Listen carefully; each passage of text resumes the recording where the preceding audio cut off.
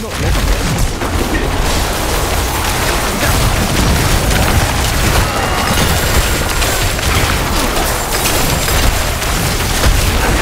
Need time to prepare